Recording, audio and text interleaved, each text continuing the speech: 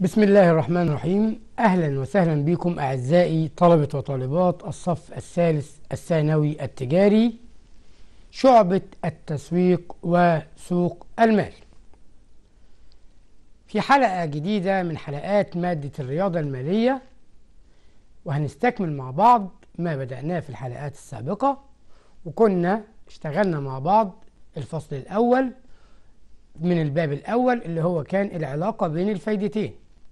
واستكملنا باقي الحلقات وقلنا الجملة المركبة وعوامل الجملة المركبة والمعدل الحقيقي السنوي والمعدل الجزئي. وبعدين دخلنا في موضوع مهم جدا اللي هو الباب الثاني اللي هو القيمة الحالية والخصم. وعملنا تطبيق على موضوع القيمة الحالية والخصم وقلنا إن تسوية واستبدال الديون هو التطبيق العملي لموضوع القيمة الحالية والخصم والخصم مع الجملة المركبة. وطبعا زي ما إحنا عارفين إن في الباب الأول الجملة المركبة كنا بنرحب بضيف عزيز علينا جدا اللي هو الجدول الأول. ولما دخلنا في الباب الثاني شفنا ضيف جديد اللي هو الجدول الثاني النهاردة إن شاء الله في حلقتنا هنشتغل مع ضيف ثالث وهو الجدول الثالث والجدول الثالث بيختص بموضوع سهل جدا وبسيط جدا اسمه الدفعات المركبة أو الدفعات المتساوية بفايدة مركبة. يبقى موضوع حلقتنا النهاردة هو موضوع الدفعات المتساوية بفايدة مركبة. وقبل ما نتكلم عن الدفعات لازم أفكرك أنك درست هذا الموضوع بفايدة بسيطة من خلال الصف الثاني الثانوي التجاري. كنا درسنا الدفعات المتساوية بفايدة بسيطة في الصف الثاني الثانوي التجاري. وعاوز أفكرك كده بتعريف الدفعات. هل أي مبلغ يعتبر دفعة؟ كل المبالغ تعتبر دفعات؟ أقول لك لا. هناك شروط للمبلغ لاعتبار هذا المبلغ دفعة. من تعريف الدفعات هنعرف الشروط دي. إيه هي الدفعة؟ أو الدفعة المتساوية أو الدفعات المتساوية. الدفعات هي مبالغ متساوية تدفع بصفة دورية منتظمة في فترات أو خلال فترات متساوية. يبقى أنا عندي أي مبلغ لاعتباره دفعة لازم يدفع أول حاجة لازم المبلغ يكون متساوي. لازم المبلغ يكون متساوي. وكمان يدفع بانتظام في فترات متساوية. يبقى أقرب مثال للدفعات لما كنا بنقول قبل كده قلت لك الجمعية. لو أنا عامل جمعية مع حد بتدفع لو كل شهر 1000 جنيه يبقى الشهر اللي جاي كمان هتدفع 1000 جنيه والشهر اللي بعده 1000 جنيه واللي بعده 1000 جنيه. يبقى هنا في شرط اللي هو الإيه؟ التساوي. شرط التساوي. كمان شرط الانتظام. الانتظام. ما ينفعش تدفع شهر وتقول لي مش هدفع الشهر اللي جاي. لا يبقى في تساوي وفي انتظام. وكمان الفترات بتكون متساوية. بتدفع كل شهر يبقى كل شهر هدفع. بتدفع كل شهرين يبقى كل شهرين هدفع. كل سنة يبقى كل سنة هدفع. يبقى دهيت اسمها الدفعات المتساوية هي مبالغ متساوية تدفع بصفة دورية منتظمة. ده كان تعريف الدفعات. وعرفنا كمان معلومة مهمة جدا في موضوع الدفعات إن الدفعات دي لها أنواع. الدفعات ليها أنواع. أنواع الدفعات دي بتتحسب إزاي؟ قال لي في دفعات عادية ودفعات فورية. برضو مش فاهم الدفعات العادية عبارة عن إيه؟ قال لي الدفعات العادية اللي هي دفعات السداد اللي بتدفع آخر كل فترة. دفعات السداد دي بتدفع إمتى؟ آخر كل فترة زمنية. أما دفعات الاستثمار أو الدفعات الفورية أو المبالغ اللي بتدفع أول أو بداية كل فترة دي اسمها دفعات فورية. اسمها دفعات إيه؟ فورية. يبقى أول حاجة عرفنا أنواع الدفعات في دفعات عادية ودفعات فورية. تعالى بقى مع بعض نشوف موضوع الدفعات ده بنتعامل معاه إزاي. يبقى إحنا بنتكلم النهاردة عن موضوع الدفعات المتساوية. موضوع الدفعات المتساوية. بفائدة مركبة. طيب حضرتك خلاص قلت لي التعريف وأنا عرفت التعريف وسهل جدا وما عنديش مشكلة فيه. أنواع الدفعات قلنا إيه؟ قلت لي أول نوع الدفعات العادية. الدفعات الإيه؟ العادية. اللي بنسميها دفعات سداد. طيب بعرف منين إنها عادية أو سداد؟ قال لي تدفع آخر كل فترة زمنية. دي كانت دفعات السداد. تدفع آخر أو نهاية كل فترة زمنية. طيب هنا الدفعة الأخيرة ليها فايدة؟ أقول لك لا. لأنها يوم ما بتدفع خلاص آخر يوم في الفترة بتدفع آخر يوم في الفترة يبقى الدفعة الأخيرة ليس ليها فايدة. طيب عندي النوع الثاني من الدفعات اللي هي الدفعات الفورية. تعال معايا نشوف إيه هي الدفعات الفورية دي. أقول له الدفعات الفورية أو بيسموها دفعات الاستثمار. اللي هي بتدفع أول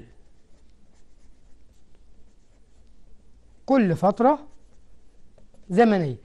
بتدفع أول كل فترة زمنية يعني الدفعة الأخيرة اللي اتدفعت قعدت وقت في البنك إذا ليها فايدة لازم يتحسب لها فوائد. يبقى هنا الفرق بين الدفعات العادية والدفعات الفورية إن في الدفعات العادية الدفعة الأخيرة ليس لها فوائد. لا تحسب لها فوائد لأن ما عادتش ما عندهاش وقت آه، زمني تحسب عليه. أما الدفعات الفورية أو دفعة الاستثمار الدفعة الأخيرة بتقعد فترة فلها زمن لذلك تحسب لها فائدة. طيب عاوزين بقى نقول حاجة مهمة جدا جدا جدا في موضوع الدفعات آه، بفايدة مركبة. أول حاجة لازم تكون عارفها إن الدفعات بفايدة مركبة مجموع الدفعات عندنا بيمثل متوالية هندسية وكنا درسنا في الصف الأول إن المتوالية الهندسية مجموعها بيساوي إيه؟ قال لي مجموع المتوالية الهندسية لو لو الره بتاعتنا الأساس أكبر من واحد الجملة آه المجموع بيساوي ألف في ر أس ن ناقص واحد على ر ناقص واحد طب لو أنا اعتبرت إن الحد الأول عندي هو مقدار الدفعة. يبقى الألف هنا هنسميه إيه؟ د والأساس بتاعنا واحد وعين. برافو عليك. إذا هتقدر على طول تقول لي جملة الدفعات الفورية اللي هنسميها جيم بتساوي. لو اعتبرنا إن الحد الأول هو الدال مقدار الدفعة في الأساس بتاعنا واحد وعين أس نون يبقى هنا قلت ر أس ن ناقص واحد. على آه واحد وعين من مية. يبقى قلنا على طول. هنا أول حاجة عايزين نقولها. برضه عشان نتأكد من شغلنا كويس قلت على طبعا آه قلت على الأساس عين من مية. على الأساس بإيه؟ بعين من مية. يبقى قلت الجملة بتساوي د في واحد وعين من مية أس ن ناقص واحد على عين من مية. طيب خد بالك معايا في الدفعات المركبة. لما نيجي نشتغلها هنشتغلها إزاي؟ قال لي عندي طريقين. طريق الجدول الثالث اللي هو الضيف اللي حضرتك رحبت بيه في بداية الحلقة وقلت إيه؟ قلت لو أنا مثلا عندي الجدول الثالث أهو قلنا الجدول الأول يخص مين؟ يخص الجملة المركبة. والجدول الثاني يخص مين؟ يخص القيمة الحالية والخاصة أما الجدول الثالث اللي هو شغلنا في حلقة النهاردة أهو ده الجدول الثالث أهو اللي يخص حلقتنا النهارده أهو على طول يمثل أو يخص الدفعات. يبقى هنا دايما الدفعات المركبة تيجي منين؟ أقول لك من الجدول الثالث طيب يعني حضرتك الرمز الرياضي هيجي إزاي ورمز الجدول هيجي إزاي؟ أقول لك على طول إحنا اتفقنا إن جملة الدفعات العادية هنسميها جيم. خلاص شرحناها وقلنا الدال في واحد وعين من مية أس ن ناقص واحد على عين من مية. طيب لو أنا عندي المعدل والمدة موجودين في الجداول المالية أعمل إيه؟ أقول لك بمنتهى البساطة هتقول لي الجملة د في مستخرج الجدول الثالث يبقى ده بالجداول المالية. الكلام ده يتحسب بإيه؟ بالجدول الثالث من الجداول المالية.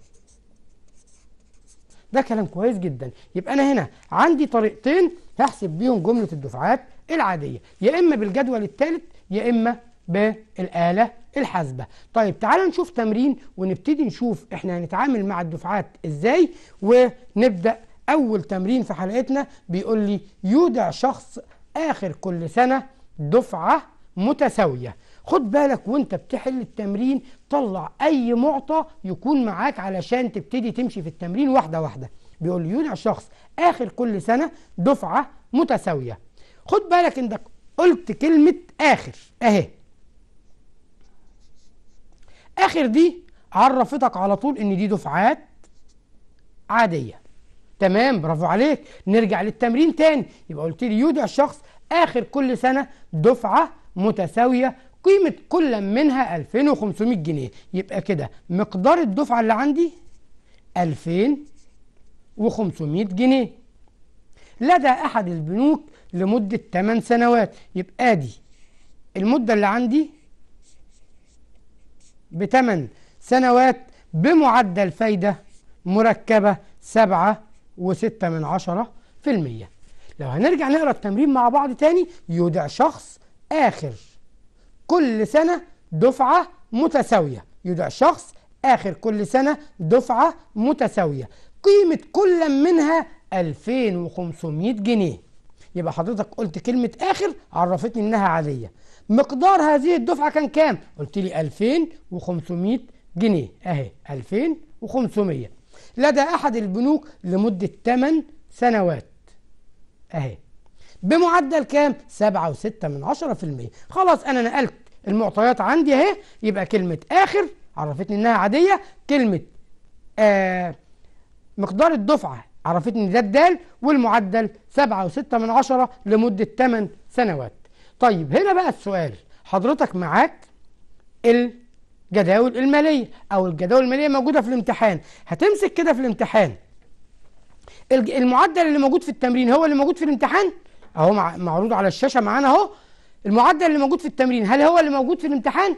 قلت لي لا ده المعدل ده مش موجود في الجداول المالية أصلا. إذا حضرتك ناوي تستخدم الآلة الحاسبة طبعا.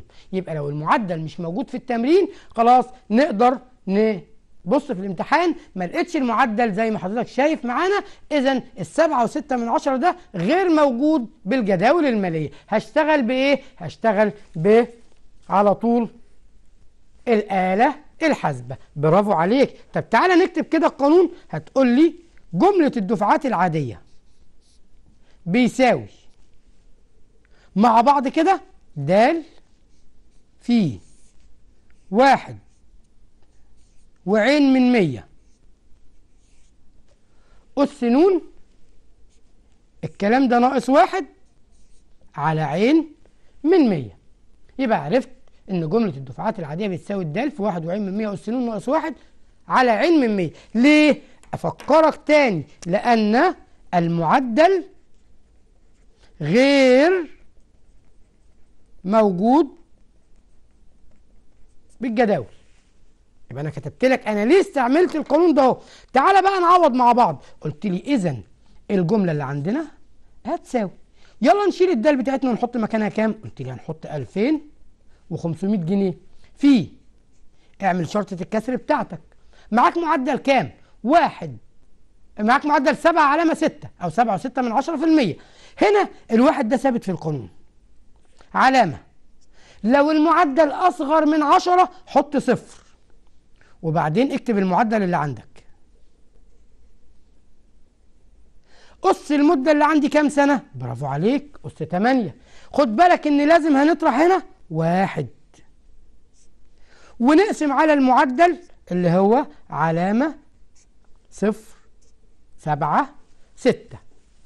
كده حضرتك جبت إيه؟ جبت الجملة المركبة. بس باقي حاجة صغيرة جدا. إزاي تعرف تشتغل القصة دي على الآلة الحاسبة؟ تعال معايا واحدة واحدة. أهو شايف الآلة الحاسبة بتاعتك؟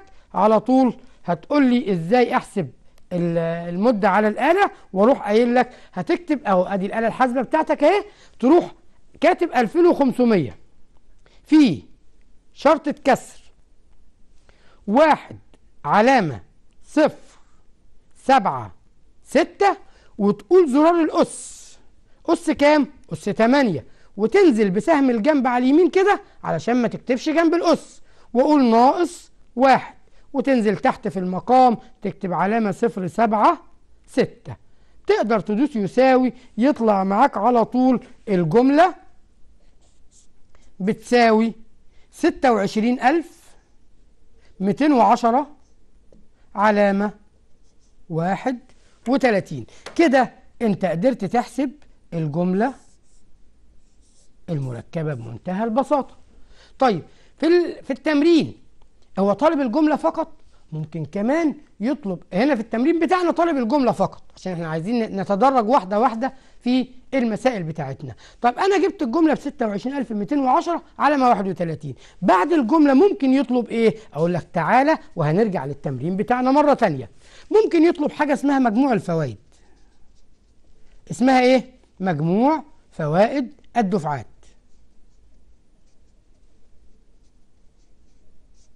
قلت لي بيساوي الجملة ناقص دال في نون. الجملة ناقص دال في نون. وده القانون السهل لأن أنا معايا الجملة فمش محتاج أعمل حاجة تاني. أو ممكن كمان بطريقة مباشرة أو من خطوة واحدة أقول له مج الفوائد أو مجموع الفوائد ده أهو بيساوي. على طول أقدر أقول له الدال في مستخرج الجدول الثالث ناقص النون. طيب تعال نشوف مع بعض على طول كده إزاي أقدر أجيب مجموع الفوائد من التمرين اللي فات. مش التمرين اللي فات إحنا جبنا الجملة 26210 علامة 31 قلت لي آه. أقول لك على طول هنكمل عليها أهي. أقدر أقول له كده مجموع الفوائد. مجموع الإيه؟ الفوائد. بيساوي الجملة اللي أنا لسه جايبها ناقص دال في نون إحنا لسه جايبين الجملة بكام؟ برافو عليك. قلت لي 26210 و31 ناقص.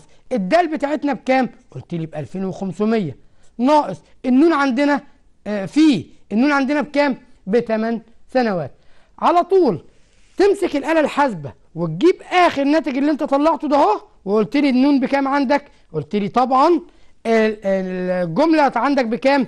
طلعت ب 26000 و 210 علامة 31 تقول لي ناقص 2500 في 8 على طول يطلع معاك 6210 علامة 31 يبقى دايما عرفت إن مجموع الفوائد بيساوي الجملة ناقص مجموع مبالغ الدفعات وعايزين دي نكتبها لأن ممكن تجيني في صورة أكمل. نقولها تاني مع بعض. مجموع فوائد الدفعات بيساوي جملة الدفعات ناقص مجموع مبالغ الدفعات. يبقى عرفت إن مجموع الفوائد بيساوي الجملة ناقص الدال في نون. دي أسهل طريقة إن أنا أحسب بيها مجموع الفوائد. اذا لو المعدل مش موجود في الجداول المالية هضطر إن أتعامل مع الآلة الحاسبة وهي طريقة سهلة ما عنديش مشكلة فيها ابدا ابدا. طيب لو أنا عندي بقى المعدل موجود في الجداول المالية أبتدي أتعامل إزاي؟ أسهل على نفسي جدا جدا لأن ما عليا إلا ان هاخد القيمة من الجداول المالية وأبتدي أضربها في مبلغ الدفعة. يبقى هنا بجيب مستخرج الجدول الثالث أضربه في الدال. معلش يا مستر كده قول لنا القانون تاني بتاع آه جملة الدفعات باستخدام الجدول الثالث. أقول لك على طول الجملة جيم جملة الدفعات العادية جيم بتساوي دال في مستخرج جدول 3 مستخرج جدول 3 كان الرمز بتاعه جيم نص مربع كده أو زاوية جيم زاوية نون بمعدل عين. تعالوا نشوفها مع بعض تاني. حضرتك قلت لي جملة الدفعات العادية. أهي جملة الدفعات الإيه؟ العادية. الجملة بتساوي د في مستخرج الجدول الثالث اللي هو ج زاوية نون بمعدل عين. وده بنسميه مستخرج جدول كام؟ 3 ده مستخرج جدول 3 طيب ممكن تدينا تمرين على آه مستخرج جدول 3 تعال نشوف مع بعض. تمرين سهل جدا جدا جدا ونشوف بيتحسب إزاي. أول حاجة عاوزين نقولها مع بعض. بيقول لي يودع شخص 2000 جنيه أهو يودع شخص 2000 جنيه آخر كل سنة. لدى أحد البنوك بفائدة مركبة معدلها 9 في المية. يبقى الشخص ده بيحط كام؟ 2000 جنيه. لدى أحد البنوك بفايدة مركبة معدلها 9 في المية. اتفقنا مع بعض إن مقدار الدفعة هنا كام؟ 2000 معدل الفايدة 9 سمع طالب شاطر بيقول لي ده التسعة ده معدل موجود في الجداول المالية. برافو عليك. برافو عليك. وذلك لمدة كام سنة؟ 10 سنوات. كده أنا معايا ثلاث عوامل للدفعات. المبلغ المعدل المدة. مبلغ الدفعة 2000 معدل الفايدة المركبة عندنا 9% مدة هذه الدفعات 10 سنوات. دايما دايما نبتدي نكتب معطيات التمرين بسهولة علشان نقدر نتعامل مع التمرين. هتقول لي هبتدي أكتب معطيات التمرين. أقول له مقدار الدفعة دال أهي بكام؟ ب 2000 جنيه. مقدار الدفعة بكام؟ ب 2000 جنيه. آخر كل سنة. طيب كلمة آخر دي مش بتعرفك حاجة؟ قلت لا ده بتعرفني حاجة مهمة جدا إن دي دفعات عادية. طيب معدل الفايدة عندنا كام؟ قلت لي 9% برافو عليك. لمدة كام سنة؟ لمدة 10 سنوات. هنا أول حاجة تيجي في دماغك إن المعدل ده أهو موجود في الجداول المالية وده كده هقدر استخدم جدول 3 يبقى أقول له الجملة بتساوي د في مستخرج جدول 3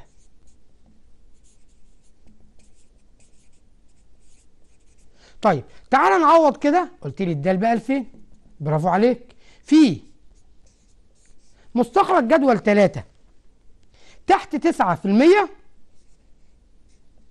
وأمام 10 وحدات زمن. تقول لي اذا لازم أطلع جدول 3 وأشوف تحت 9% كام وقدام 10 وحدات زمن كام. قلت لي هتمشي تحت 9% وقدام 10 وحدات زمن. يطلع الناتج معاك بمنتهى منتهى السهولة والبساطة بكام؟ مستخرج جدول 3 معاك هيطلع 15 علامة 19 أهو نكتب المستخرج مع بعض 15 علامة 19 2 9 2 9 على طول بمنتهى البساطة تضرب الألفين في المستخرج اللي طلع معاك يطلع معاك الناتج بالظبط وبالتحديد 30385 علامة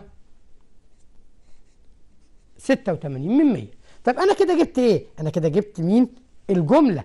لسه في مطلوب كمان في التمرين. عاوز حاجة اسمها مجموع الفوائد. عاوز مجموع الفوائد. أقول له مجموع الفوائد بتساوي إيه؟ طالما جبت الجملة ما تتوهش نفسك في قوانين كتير. وأقول لك الجملة ناقص دال في نون اللي هو مجموع مبالغ الدفعات. قلت لي طيب الجملة أنا لسه جايبها بكام؟ ب 30000 385 و 86 من 100 ناقص الدال اللي عندنا بكام؟ قلت لي الدال ب 2000 مقدار الدفعة. عدد الدفعات كام؟ قلت لي 10 طيب 2000 في 10 ب 20000 ناقص 30385 و86 يطلع على طول الناتج بالظبط وبالتحديد 10385 و 86 من 100 كده انت جبت الجملة وجبت مجموع الفوائد بمنتهى البساطة لأن الجملة بتساوي د في مستخرج جدول 3 عشان دي دفعات عادية والمعدل موجود في الجدول الثالث والمدة موجودة في الجدول الثالث اذا المسألة كلها سهلة وبسيطة جدا. عاوز آخد كمان تمرين مع بعض ونشوف واوريك بالظبط إحنا بنطلع من مستخرج الجدول الثالث إزاي. لما أقول لك يودع تاجر اهو. يودع تاجر ألف جنيه آخر كل سنة. الراجل ده بيحط ألف جنيه آخر كل سنة. بمعدل فائدة مركبة بمعدل فايدة مركبة 11 في المية سنويا في بنك. وذلك لمدة نقول مثلا خمس سنوات. احسب جملة الدفعات. خد بالك معايا في التمرين ده كويس جدا جدا جدا؟ إحنا اتفقنا مع بعض إن أي تمرين يجيني لازم الأول أطلع معطيات التمرين علشان أبقى شايف هو محتاج إيه ومديني إيه. يودع تاجر 1000 جنيه. يبقى هنا مقدار هذه الدفعة الدال ب 1000 جنيه بمعدل فايدة مركبة 11% وذلك لمدة خمس سنوات. دايما أسأل نفسي سؤال. الإيداع هنا تم أول ولا آخر؟ كل الناس الشاطرة قالت لي الإيداع تم. آخر. الإيداع بيتم إيه؟ آخر. يبقى يودع تاجر 1000 جنيه آخر. آخر دي على طول على طول. سامع الطالب والطالبة الشطار اللي بيقولوا إيه؟ آخر دي عرفتني دي دفعات عادية. آخر هنا عرفتني دي دفعات عادية. بس السؤال بقى اللي بيطرح نفسه هل المعدل موجود في الجداول المالية ولا لأ؟ أبص على المعدل. الاقي المعدل 11% وابص على المدة خمس سنوات. موجودين في الجداول المالية؟ أقول لك فعلا لما مسكت ورقه الأسئلة بتاعتي أو السؤال اللي عندي أو الجداول المالية اللي موجودة في الكتاب المدرسي أبص ألاقي جدول الفايدة المركبة معدل كام؟ 11% إذا المعدل موجود. المدة كام؟ قلت لي خمس سنوات. يبقى إذا مستخرج الجدول التالت. بص أدي الجدول الأول مالناش دعوة بيه دلوقتي. الجدول الثاني مالناش دعوة بيه. رحت للجدول الكام؟ قلت له رحت للجدول الثالث أدي الجدول الثالث تحت 11% وأمام خمس سنوات. إذا هو ده اللي بدور عليه. أهي. آخد القيمة ده أهي. وهتكون هي دي الجملة مستخرج الجدول الثالث اللي أنا عايزه. تعالى بقى نكتب القانون بتاعنا. الجملة بتساوي د في مستخرج جدول 3 عندي كام؟ قال لي أمام خمس وحدات زمن وأسفل المعدل 11% واتفقنا إن ده مستخرج الجدول الثالث طيب الدال هنا بكام؟ قلت لي الدال على طول أنا عارف إن الدال عندي في المسألة ب 1000 جنيه أهي. في طلع مستخرج الجدول الثالث تعالى تاني كده معايا أهو. مستخرج الجدول الثالث قدام خمس سنوات 6 علامة 2 2 7 8 0 1 أهي. 6 علامة 2 2 7 8 0 1 يبقى أنا ما عليا إلا إني نقلت المستخرج من الجدول اللي موجود عندي في ورقة الأسئلة أو من الجدول اللي موجود عندي في ورق في الكتاب المدرسي. على طول أضرب الألف في المستخرج ده أهو يطلع 6227 علامة 8 كده انت جبت الجملة بتاعتك بمنتهى السهولة. طيب لو أنا عاوز أجيب مجموع الفوائد أقول له مجموع الفوائد كلنا شطار وعارفين إن مجموع الفوائد أهي بيساوي جملة الدفعات ناقص مجموع مبالغ الدفعات اللي هي الدال في نون. جملة الدفعات بكام؟ ب 6227 و8 من عشرة. مجموع مبالغ الدفعات قلت لي الألف في خمسة. يعني 5000 إذا لما أطرح 5000 من 6227 و8 من عشرة ألقى بمنتهى البساطة الموضوع عندي يطلع مجموع الفوائد يطلع 1227 و8 من عشرة. وبكده أنا جبت مجموع الفوائد. يبقى دي كانت مسألة الدفعات العادية البسيطة واتعاملنا مع الجداول المالية واتعاملنا مع الآلة الحاسبة. إذا لما يجيب لك تمرين عندك يكون فيه الجداول المالية المعدل والمدة موجودين في الجداول المالية الأفضل الأفضل والأسهل ليك وليكي إن أنت على طول تبص في الجدول تطلع مستخرج الجدول الثالث على طول أروح جايب الجدول بتاعي أهو أقول له أدي الجدول أطلع منه المستخرج الجدول الثالث وأضربه في مقدار هذه الدفعة يطلع معايا جملة الدفعات العادية. عاوز مجموع الفوائد؟ أقول له مجموع الفوائد بتساوي جملة الدفعات ناقص مجموع مبالغ الدفعات. طب إيه هي مجموع مبالغ الدفعات؟ مقدار الدفعة في عدد هذه الدفعات يعني د في ن اذا مجموع الفوائد بيساوي ج ناقص د في ن ده كان أبسط طريقة ممكن تيجي بيها مسألة الدفعات العادية. عندي أكتر من تمرين عايزين نتدرب النهارده على كل الأفكار على موضوع الدفعات العادية وبراحتنا خالص وأي تمرين معانا في الكتاب إن شاء الله هنحاول نحله وتبقى الدنيا سهلة وجميلة ونتمنى إن إحنا نقربكم من النجاح بخطوات. عندي كمان تمرين سهل جدا بيقول لي يدع شخص آه 300 جنيه آخر كل ست شهور. خد بالك هنا إنه ما قالش آخر كل سنة. يدع شخص 300 جنيه آخر كل ست شهور. طيب هنا الشخص بيحط أو التاجر ده بيحط 300 جنيه إمتى؟ آخر كل ست شهور. سامع طالب شاطر قوي بيقول لي يعني بيحط مرتين في السنة. الإيداع بيتم مرتين في السنة. يودع شخص 300 جنيه آخر آه كل ست شهور. لدى أحد البنوك بمعدل فايدة مركبة 7% عن كل نصف سنة. خد بالك من السؤال ده كويس جدا جدا. عايز إيه مني؟ عايز الجملة ومجموع الفوائد. مش ده المهم. كلنا بنعرف نجيب جملة ومجموع الفوائد وخلاص اتدربنا عليها وبقينا شطار. المهم إنك تلاحظ إن هنا في مرات إضافة في التمرين. يدع شخص 300 جنيه آخر كل ست شهور. هي دي الجزئية اللي عايزك تاخد بالك منها. الشخص بيحط كام؟ 300 جنيه. إمتى بقى؟ آخر كل ست شهور.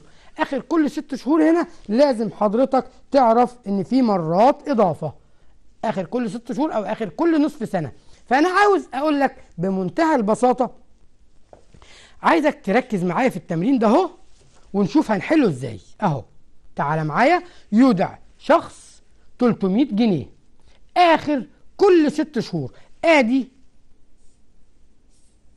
كلمة آخر. وآدي مقدار الدفعة. اللي حصل إن هنا قال لي كل قال لي كل ست شهور على طول أعرف إن في هنا ميم. إيه الميم دي؟ طبعا عارفين الميم من سنة تانية وخدناها في الجملة المركبة اللي هي مرات الإضافة. اللي هي إيه؟ مرات الإضافة. ميم بتساوي شهور السنة كام؟ 12 على شهور المعدل 6 12 على 6 يبقى فيها كام؟ مرة؟ مرتين. يبقى فيها كام؟ مرتين. على طول أعدل وحدات الزمن. يبقى النون بتساوي وحدات الزمن أو السنوات اللي عندي كام؟ خمس سنوات. في كام مرة في السنة؟ مرتين. يبقى النون الجديدة اللي عندي أو وحدات الزمن عندي في كام؟ بعشرة. هي دي الجزئية اللي عايز اكد عليها في التمرين ده لأن حضرتك اتفاجئت إنه ما قالكش آخر كل سنة زي زي التمرين اللي فات. إنما هنا بيقول لي آخر كل ست شهور. عاوز طالب شاطر يركز معايا تاني. علشان آخر كل ست شهور رحت قاسم 12 على الستة. طب يا مستر لو كان قال لي آخر كل ثلاث شهور أقول له أقسم 12 على الثلاثة عشان يبقى أربع مرات. طب لو كان قال لي آخر كل أربع شهور هقسم 12 على الأربعة يديني الميم ثلاث مرات. لو قال لي آخر كل شهرين هقسم 12 على 2 يديني ست مرات. إذا مرات الإضافة بتساوي شهور السنة على شهور المعدل. طب يا مستر ده ممكن ما يجيبليش الشهور خالص. ممكن يقول لي بمعدل أو يقول لي مثلا إيه دفعات ثلث سنوية أو ربع سنوية. هنا في الحالة دي لو قال تلت يبقى الميم بتلاتة لو قال ربع يبقى الميم بأربعة لو قال سدس يبقى الميم بستة. خد بالك من الكلام ده تاني وهنعيده تاني عشان الطلاب الشطار قبل ما نحل التمرين. تعالى معايا تاني هقول لك. لو قال لي يودع تاجر دفعات عادية 300 جنيه آخر كل ست شهور أعرف إن المسألة فيها تعديلة صغيرة قوي التعديلة تيجي إزاي؟ أقول له لازم أقول مرات الاضافة بكام؟ ما هو كده بيحط أكتر من مره خلال السنة. تقول لي اعدل إزاي؟ أقول لك دايما تجيب مرات الاضافه بقاعده سهله جدا. شهور السنة على شهور المعدل. نقول تاني مرات الاضافه الميم بتساوي شهور السنة على شهور المعدل. طيب سعادتك شهور السنة ثابته. عمرك شفت سنه اتغيرت؟ لا طبعا. شهور السنة 12 دايما. شهور المعدل بقى اللي موجودة بعد كلمة كل. آخر كل ست شهور هقسم 12 على الستة يطلع مرتين. طب لو كان قال لي آخر كل أربع شهور هقسم 12 على الأربعة يطلع ثلاث مرات. طب لو قال لي آخر كل أربع شهور هقسم 12 على الأربعة يطلع ثلاث مرات. لو قال لي آخر كل ثلاث شهور هقسم 12 على الثلاثه يطلع أربع مرات. آخر كل شهرين 12 على الاثنين يطلع ست مرات. آخر كل شهر 12 على الواحد يطلع 12 مرة. وبعد ما تجيب عدد المرات تضرب عدد المرات ده في السنوات اللي عندك على طول يجيب وحدات الزمن اللي إحنا هنشتغل عليها الجديد. لذلك كنت أك... عايز أكد قوي قوي على الجزئية دي. وكمان ممكن ما يجيبلكش شهور في في المعدل أو يقول لك إيه يودع تاجر 300 جنيه دفعات سداد تلت سنوية. هنا الميم بتلاتة. مش محتاج تقسم شهور السنة على الشهور اللي عندك. يبقى هنا الميم على طول بتلاتة. يودع تاجر 200 جنيه دفعات سدس سنوية. يبقى هنا على طول الميم بستة. يودع تاجر 500 جنيه دفعات ربع سنوية. يبقى الميم بأربعة. يبقى إذا لازم نخلي بالنا كويس جدا من منطوق التمرين وإيه اللي موجود فيه علشان أقدر أتعامل مع التمرين ببساطة. ودايما دايما الرياضة سهلة بس اقرأ كويس واهدى وانت بتحل هتحل أي تمرين يقابلك. هنرجع تاني للتمرين بتاعنا. بعد ما شرحنا الجزئية دي بيقول لي يودع شخص 300 جنيه آخر كل ست شهور. يبقى التاجر ده بيحط كام؟ 300 جنيه. آخر كل ست شهور. على طول عرفت إن المسألة فيها ميم. يبقى الميم مرة الإضافة بتساوي 12 على الستة. طلع فيها كام مرة؟ مرتين. طيب كلام كويس جدا. هنا أجيب وحدات الزمن إزاي؟ أقول له النون بتساوي الخمس سنوات في المرتين اللي طلعوا أهو المرتين اللي لسه طالعين حالا ده أهي. بيطلع ب 10 اذا لما أجي أحل بقى التمرين مع بعض أقول له يودع تاجر الدال بتاعتنا بكام؟ ب 300 المعدل اللي عندنا قال لي بسبعة في المية. النون كانت بكام؟ قلت لي النون كانت بخمس سنوات. بس إحنا على طول قدرنا نعدل ونجيب الميم. الميم جت إيه؟ قال لي 12 على الستة طلعت مرتين. فرحت عملت وحدات زمن جديدة. قلت النون بتساوي الخمس سنوات. في المرتين اللي لسه طالعة يطلع بعشر وحدات زمن. هنا أقدر بقى أبص على وحدات الزمن 10 والمعدل 7 ما بيفكركش بحاجة قلت لي موجود في الجداول المالية. على طول أقول له يبقى الجملة بتساوي د في مستخرج الجدول الثالث أمام عشر وحدات وأسفل السبعة في المية. طب لو أنا مسكت جدول سبعة أهو. جدول الفايدة المركبة بمعدل كام؟ سبعة. قلت لي تحت سبعة وأمام عشر وحدات. يعني حضرتك تقصد الرقم ده. اهو. يبقى اذا هاخد الرقم ده اهو بص كده أقول له أدي الدال عندي بكام؟ ب 300 ننقل الرقم من الجداول المالية مفيش أي مشكلة فيه جدول 3 طبعا الدفعات جدول 3 يبقى 13 علامة. 8 1 6 4 4 وأمسك الآلة الحاسبة واحل بمنتهى البساطة هضرب ال 300 في 13 علامة 8 1 6 4 4 8 يطلع الناتج عندك بالظبط وبالتحديد واحد و... يطلع 4144 يبقى الناتج هنا يطلع 4144 علامة 93 كده انت جبت جملة الدفعات. سهل جدا جدا. طب لو عاوز مجموع الفوائد؟ برافو عليك. قلت لي بيساوي جملة الدفعات ناقص مجموع المبالغ اللي هي د في نون طب جملة الدفعات اللي أنا لسه جايبها حالا؟ قلت لي 4144 علامة 93 الدال عندي بكام؟ 300 النون عندي بكام؟ اوعى تستعمل النون القديمة. لا خلاص بقى انت عملت عملية تعديل تعديل يبقى النون بكام؟ ب 10 300 في 10 ب 3000 ناقص 4144 يطلع 1144 و93 من 100 دي كانت مسألة سهلة جدا جدا جدا. الفكرة اللي فيها إن كان مديني آه طريقة الإيداع أكتر من مرة خلال السنة. يبقى دي كانت مسألة من المسائل السهلة الجميلة وعندي كمان آه بعض التمارين اللي ممكن تجي لك على موضوع الدفعات العادية. خد بالك إن الدفعة العادية بمنتهى البساطة هي دفعات بتدفع آخر كل فترة وممكن نستعمل بدل كلمة آخر ممكن في التمرين يقول لك دفعات سداد أو في نهاية كل فترة يبقى كلمة آخر أو كلمة في نهاية أو كلمة عادية أو كلمة سداد كل هذه الكلمات مغزاها واحد ومعناها واحد إن أنا بتعامل أو أمام مسألة دفعات عادية. يبقى الدفعات العادية بعرفها منين؟ من كلمة عادية من كلمة آخر من كلمة سداد. كلمة عادية كلمة آخر كلمة سداد كلمة في نهاية.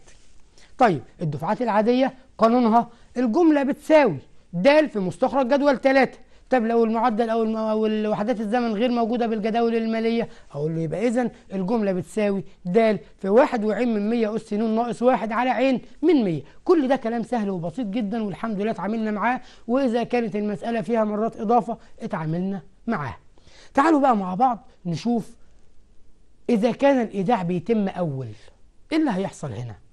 أقول له مش هيحصل حاجة غير إن الدفعة الأخيرة هتحسب لها فايدة. يعني الدفعة الأخيرة دي لازم أحسب لها فايدة. يبقى الدفعة الأخيرة تعتبر جملة ليه؟ هاخد الدفعة وفايدتها. يبقى هنا الحد الأول من المتوالية الهندسية هيكون الدفعة مضروبة في واحد وعين من مية. وكل حاجة تفضل زي ما هي؟ آه كل حاجة تفضل زي ما هي. معنى كلام حضرتك يا مستر إن جملة الدفعات الفورية اللي بتدفع أول اللي بت... أو بداية أو بيسموها استثمار. هي هي جملة الدفعات العادية مضروبة في واحد وعين من مية. يبقى اذا جملة الدفعات الفورية هي هي جملة الدفعات العادية مضروبة في واحد وعين من مية. وهنستعرض مع بعض دلوقتي إزاي أجيب جملة دفعات عادية وإزاي أشوف العلاقة بينهم. أول حاجة عاوز أقولها لك إن جملة الدفعات الفورية اللي هي هنسميها بقى جيم شرطة. هنسميها إيه؟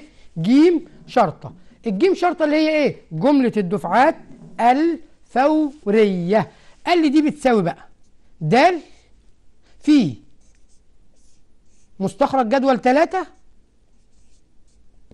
إيه يا مستر ده ده نفس القانون بتاع جملة الدفعات الإيه؟ العادية. برافو عليك. هقول لك بقى كل اللي هيحصل هنا هنضيف واحد جوه ونطرح واحد من قيمة المستخرج. يبقى جملة الدفعات الفورية عندي على طول بمنتهى البساطة هنضيف واحد جوه ونطرح واحد من قيمة المستخرج. يبقى ده الفرق بين الدفعات الفورية والدفعات العادية. وطب أعرف منين إن دي دفعات فورية؟ قال لي تدفع أول أو بداية أو يقول لك كلمة دفعات استثمار. دفعات إيه؟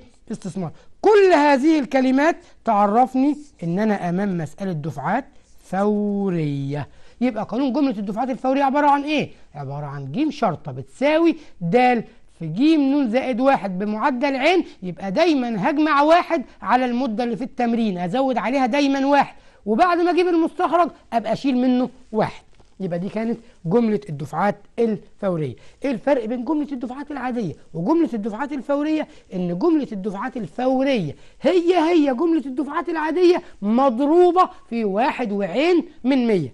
يعني طالب يقول لي لو أنا فاهم مسألتي بطريقة جملة الدفعات العادية أقدر أجيب الجملة وبعد ما أجيبها أضرب في واحد وعين هيطلع الكلام ده صح؟ أقول له برافو عليك ممتاز. هو ده اللي إحنا عملناه أو هو ده التعديل اللي حصل في القانون بس لو مشيت بالطريقة دي سهلة جدا جدا ما عنديش مشكلة. يبقى اذا ناخد بس يعني كنت أتمنى إن أنا أكمل معاكم آه، موضوع جملة الدفعات الفورية بس إن شاء الله على وعد وأمل باللقاء في الحلقة اللي جاية. هنبتدي مع بعض من بداية جملة الدفعات الفورية ونكون راجعنا القانون بتاعها وهنبتدي نشتغل كل التمارين بتاع جملة الدفعات الفورية وكمان عوامل الجملة المركبة إن شاء الله انتظرونا في الحلقة الجاية على شاشة مصر للتعليم الفني شاشة النجاح وشاشة التفوق ودايما دايما مع بعض وإيدينا في إيدين بعض ربنا يحفظكم ويحفظ مصر. وأشوفكم على خير. كان معكم فتحي عبد الكريم من وزارة التربية والتعليم.